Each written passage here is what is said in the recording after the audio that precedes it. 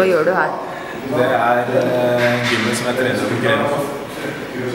Men du er på formsjekk? Nå er jeg på formsjekk. ja. Jeg har formsjekk hver søndag her nede. Hvis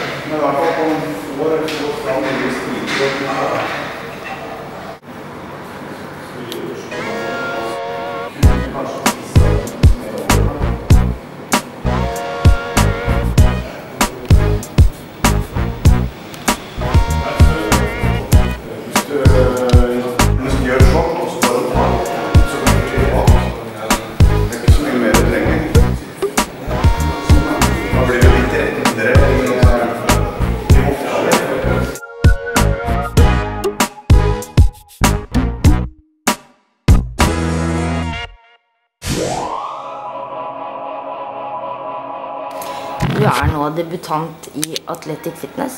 Det stemmer. Eh, gleder du deg, eller gruer du deg? Litt begge deler. Eh, Jeg gleder meg veldig. Det har vært en drøm lenge, så det blir gøy å komme i gang med. Hvor lenge har du trent opp mot dette her? Eh, seriøst har jeg trent i ca. tre år. Eh, så har jeg trent styrke tidligere, siden jeg var ca. 16. Men det er de tre siste åra jeg virkelig har gått inn for å stille i fitness. Hvorfor har det vært en drøm for deg? Hvem er det du på en måte har Hvem er det som har satt de tankene i hodet? Det må vel eh, Det startet jo som liten gutt, egentlig. Eh, Med alle gamle actionhelter og Arnold Schwarzenegger og sånn. Det var der det begynte. Eh, Seinere så har det bare blitt en interesse hele tiden.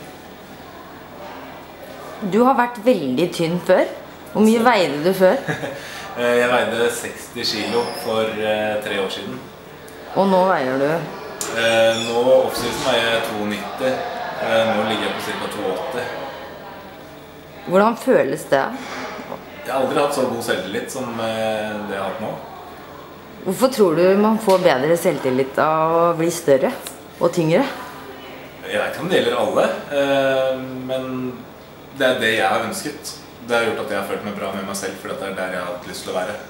Så jeg har fått bedre selvtillit av det.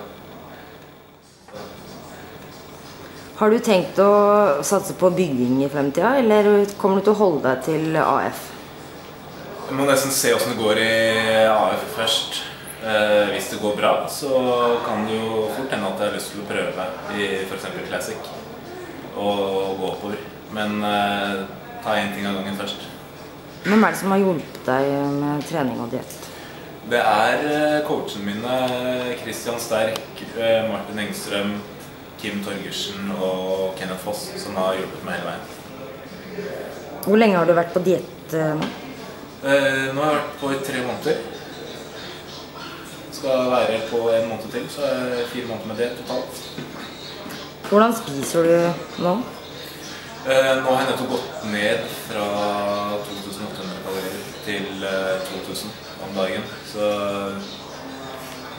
det går, det går hovedsakelig i kylling og kjøtt. Det gjør det. Hva håper du utfallet blir av, av Norway Open? Er det, nei, er det Norway Open? Er når du. Og, og NM? Og NM uka etter. Eh, det jeg håper på, er i hvert fall finaleplass. Eh, selvfølgelig drømmer jeg om å kunne komme på pallen nå, men eh, et litt mer realistisk mål som debutant er vel antageligvis å komme til finalen. Eh, hva er det du jobber med? Eh, jeg jobber som rørlegger. Hvordan er det å være på diett og, og jobbe?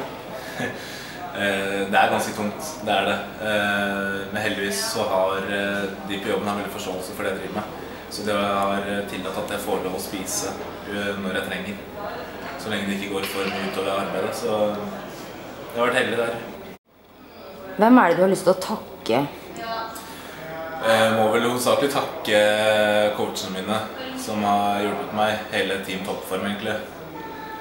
Ehm, Det er jo de som har hjulpet meg mest med dette. Og ehm, kjæresten min og familien, som også har støttet meg og hjulpet meg med dietten og det som trengs. Da ønsker vi deg lykke til. Tusen takk.